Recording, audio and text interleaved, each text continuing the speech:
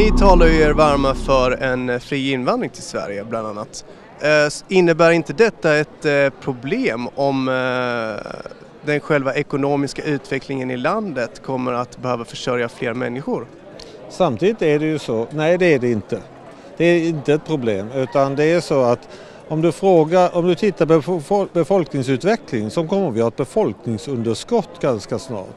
SCB själv har, alltså Statistiska centralbyrån har själv sagt i sina kommentarer att vi kommer inte ens kunna komma i närheten av att öka invandring så mycket som vi egentligen kommer behöva för att överhuvudtaget eh, kunna eh, upprätthålla den välfärdssamhället vi har. Det är ju så, Sverige är relativt mindre behov. I de andra västeuropeiska eller utvecklade länderna är det mycket större behov. Men hela den utvecklade världen kommer att behöva massinvandring för att klara välfärdssamhället. Japan är det värsta exemplet. Där är närmaste 50-60 åren kommer de gå från 120 miljoner invånare till 90 miljoner. De behöver jättemycket invandring. Tyvärr är de ganska främlingsfientliga av sig och eh, släpper inte in invandring. Vilket det är någonting som vi gör i Sverige. Precis, och det ska vi vara glada och stolta över. Vi ska vara glada att Sverige håller på att utvecklas till ett riktigt mångkulturellt land. Det är många begåvningar som kommer hit.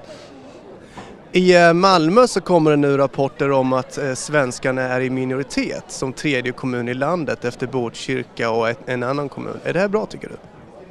Du, vad menar du med svenskar? Jag tror inte att de är minoritet. Jag tror att de flesta människor i Malmö har svenskt pass. För mig är svenskt pass lika med svenska. Då får jag precisera, jag menar etniska svenskar. Det är jag ointresserad av att diskutera.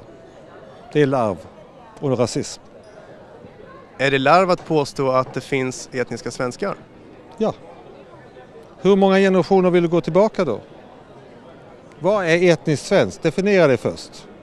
Jag ska inte definiera någonting, jag bara vill veta din syn på det här. Ja, jag säger, jag tycker etniskt svenskt är ett diffust begrepp. Om inte du kan leverera en definition kan jag inte diskutera det. För det är frågan är första generationen, andra generationen, tredje generationen, tionde generationen. Det är ingenting annat än rasism.